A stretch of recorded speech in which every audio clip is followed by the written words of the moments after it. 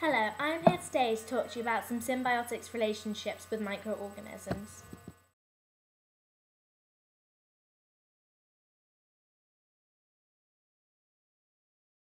Symbiotic microorganisms are never found apart and cannot grow separate from their partners.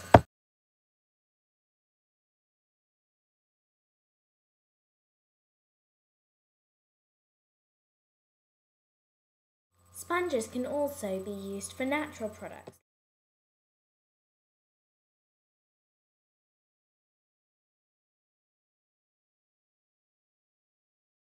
Gut flora is a kind of microorganism that lives inside your intestine.